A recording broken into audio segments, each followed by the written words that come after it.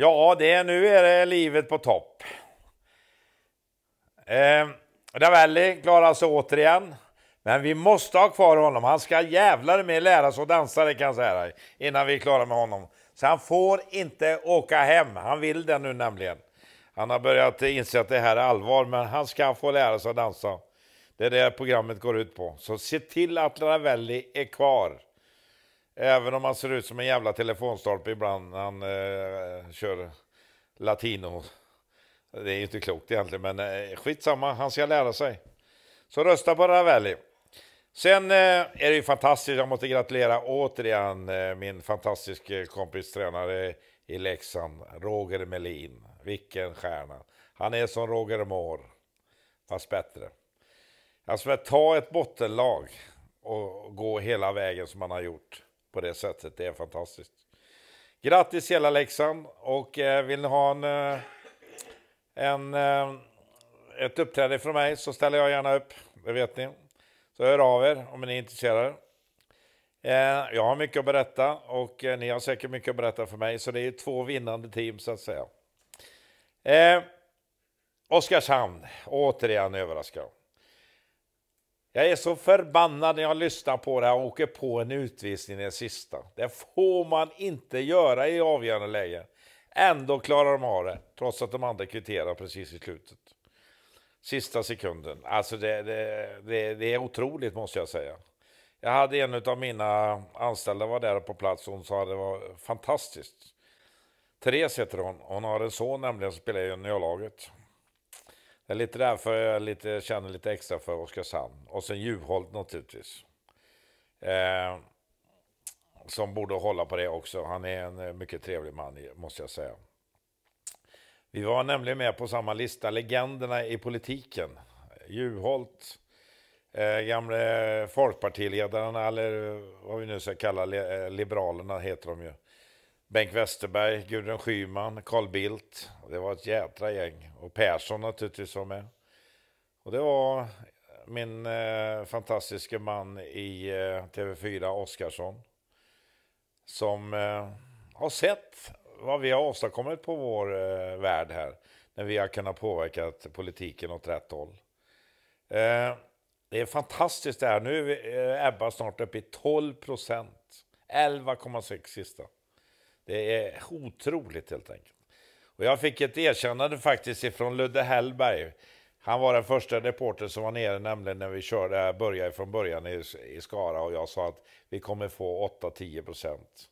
Sen när det inte gick lika snabbt som jag hade räknat med så eh, hånade han mig och skrev en eh, artikel som jag inte tyckte om. Och eh, han bad om ursäkt faktiskt att han hade haft fel. Han hade fel så in i helsike. Hon är ju också den som har mest förtroende, Ebba Busch. Hon kör helt rätt. Och utspelet med att man ska prata med alla, det gillar folk. Demokrati är ju en förutsättning för allting. Och ändå är det partier som håller på att tjafsar om det här fortfarande. Och det är så skönt att höra Centerpartiet och Folkpartiet. De sitter och samarbetar med Vänsterpartiet som var ett av dem som de absolut inte skulle samarbeta vid sidan om SD. Men det pratar de inte längre om. Löfven skulle man absolut inte ha som statsminister. Nej, nej, nej. Det skulle vara eh, Kristersson naturligtvis. Och sen sitter de och gnäller nu när det inte går så bra för dem. Jag menar, vi ser nu Liberalerna här, alltså de ligger under hela tiden och jag tror inte de kommer in faktiskt med sina i EU. Jag tror de åker ut helt enkelt. Och det beror på att de har ägnat sig åt hat istället för konstruktiv politik. Ja, det är alltså Moderaterna är, kopierar ju också SD, fast de snor eh, politiken utan att säga att de gör det. Eh, jag förstår inte den här diskussionen hela tiden om de här så kallade rötterna. Jag har ju lagt ut Löfven flera gånger nu, hans bakgrund. Och jag anklagar inte Löfven för att hans mamma och hans eh, morfar Eh, var inblandad i nazismen. Jag skulle aldrig komma på tanken ens en gång att anklaga honom. Men han sitter och anklagar andra folk som inte ens har varit i närheten av ett sånt samband. Det får bli ett slut på detta snart. Men positiva grejer här eh, är ju naturligtvis eh, att Frölunda kommer att gå till final snart. Det är en av de tränare som jag också tycker är väldigt duktig, jämte Roger. Och det roliga var att han hade Roger som eh, tränaren i Frölunda hade Roger som eh, favorit. Det, han skulle vilja vara som Roger, lugn och sansad och fin. Inte som Bert Karlsson och andra gaphalsar. Nej, eh, idag nu så var jag ute och hämtade en pizzaugn som jag ska ha till Ursand. Och jag var tvungen att ringa till några starka så jag ringde helt enkelt till tyngdlyftningsklubben i Skara och bad om hjälp. De andra klarade inte av det när jag skickade dit sex stycken andra. Det är ju så att jag skulle ha ut en pizzaugn här från ett ställe. Jag hade mina vanliga som skulle bära ut den. Men det gick åt helvete. Kommer du ut genom Nej, nej, men det kommer vi inte. Vi får plocka av den och så får vi lägga den på högkant. Så jag kontaktade helt enkelt de starka grabbarna i samhället. Vad heter klubben? Skara Atletklubb. Fick komma hit och hjälpa till. Och bära ut där. Nu kom de fem man och klarade det på e- elegant sätt. Ifrån andra våningen. Det här var en tung pjäs kan jag säga. Den vägde många hundra kilo. Tack vare tyngdlyftningsklubben och dessutom fick de lite bidrag av mig. Eh, för, eh, som tack för hjälpen. Jag tyckte det var roligt. Ja, jag tänkte jag skulle lägga ut nu hur Ursan ser ut i år. Jag har gjort precis kartan färdig. Det är lite små grejer men det mesta stämmer. Vi har gjort det fulländat i år vill jag nog påstå.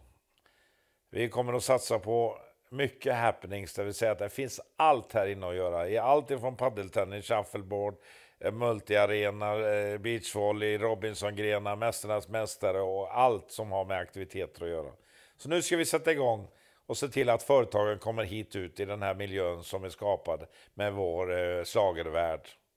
Där man kan gå på spat också samtidigt. Vi hyr ju ut spat separat.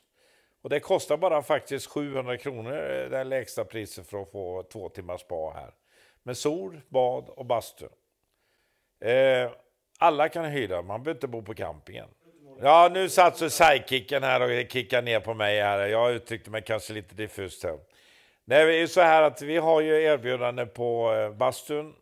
Eh, sex personer, 700 kronor, det är lägsta. Och då får man två timmar, men man kan vara upp till 40 stycken. Så att eh, det är upp till var och en hur många man vill vara.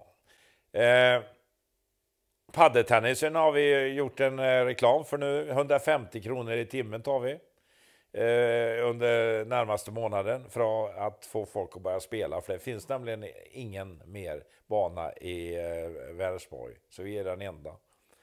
Eh, vi aktiverar även stugorna, så det är bara att höra av sig till campingen 0521 186 66 så kan ni se vad ni kan få för erbjudande. Vi ju tillhör en av Sveriges största campingar idag. Vi har fem stjärnor precis. Och eh, vi kommer att bli en tiostjärnig camping så småningom. Men eh, på kartan kan ni se även framtidsvisionerna. Vi har ritat in lite framåt i tiden. Och det kommer att hända mycket, men framförallt på idrottsområdet för föreningar att komma dit och tävla. Spela fotboll, beachvolley, multiarena med innebandy och basket. Och, ja, allt sånt här som finns. Skytte har vi en ny bana också. Där man kan eh, skjuta, lära sig skjuta på eh, vilt. En jättefin bana. Shuffleboard är också en som fungerar bra. Biljard, bordtennis, allt finns. Spelhall har vi byggt en helt ny för ungarna nu. Men som sagt var, det bästa är att komma dit och titta. Och vi har ett antal Röllebo kvar. Vi har fem stycken Röllebo att sälja. Vi har ju sålt eh, 35 förut. Vi har fem kvar med ett fantastiskt läge ut mot Vänern. Ni kommer aldrig hitta något liknande till det priset. Fullt färdig, bara flytta in. Vi har också några platser kvar för säsong. Vi har en kö normalt sett på 100 personer, men vi har betat av ett hel del. Men det finns några platser kvar, några som inte har bestämt sig. Så passa på det här nu och titta på det här. Och det är roligt, nu kom en artikel igår i Svenska Dagbladet och jag tänkte lägga ut den också. Om just 30 kvadrat på Röllebo. Men eh, de har ju angett eh, Attefall där. Men det är faktiskt jag och Arja Snickaren som har drivit den frågan från början till slut. Och de här företagen som gick ut nu i Svenska Dagbladet igår eh, betonade faktiskt för regeringen nu hur viktigt det är att få igenom det här. För får vi igenom 30 kvadrat på Attefall, då kan man bo riktigt i de här husen. Då kan det bli ett alternativ till det lilla boendet, till studenten eller en pensionär eller liknande. Första boendet. Men 25 som det är idag, alldeles för lite. Men som sagt var, kom till Ursand och titta. Och snart får ni se det här i ett tv-program på TV4. Där de har gjort två timmar om hela mitt liv. Och det är roligt att jag var med som legend bland politikerna nu igår i TV4. Bland de stora eh, drakarna. Göran Persson, Bildt, eh, Gudrun Schyman, Bengt Westerberg, min gamle kompis, var med också. Eh, de hade klassat mig som legend inom politik och det är jag tacksam för. Och jag tycker faktiskt att jag har gjort ett ganska bra jobb med Ebba Busch, det måste jag säga. Även om kanske inte alla KD-politiker tycker det.